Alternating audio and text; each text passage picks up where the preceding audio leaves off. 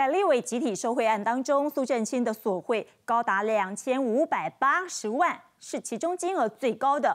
检察官查出，他除了向经济部长施压，同时呢看到了向经济部来施压之外，还向李恒龙开口要钱，同时也以参加屏东县长初选看板、设立看板为由，索贿两百三十万。甚至还搬出叔叔苏家全，说苏家全呢，在一百零五年总统大选之后，可能位居要职，一开口就索讨两千万。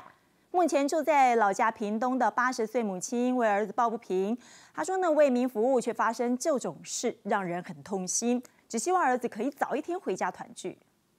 苏振清八十岁的老母亲守在屏东长治老家。中秋前夕，只盼儿子可以回家团圆。阮总是是大人爱有希望啊，啊，都阮政府的规定，阮也无法度人了解啦。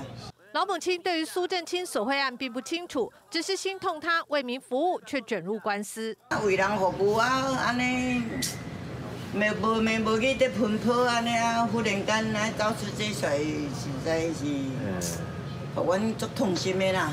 检察官查出苏振清的服务可没有那么简单。为了帮助李恒龙夺取搜狗经营权，多次向经济部施压，在一百零一年收下李恒龙第一笔五十万元的汇款，隔年借口参加屏东县长初选需要设立选举看板，又索贿两百三十万元。一百零四年两人碰面，苏振清表明隔年总统大选，叔叔苏家全有可能位居要职，向李恒龙开口要求两千万元。尽管李恒龙表示需要考虑以及分批交。付苏振清离开后，还是传简讯提供账户，感谢李恒龙的协助，希望在九月十五号汇入一千万。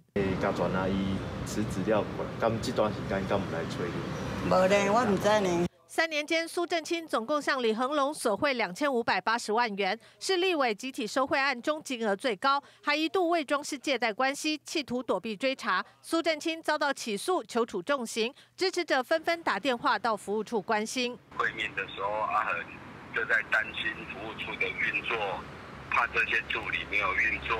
苏振清特别透过律师交代服务处要正常运作，但他涉入索贿案，自毁政治前途，不知何时能够回到故乡。记者林安平屏东报道。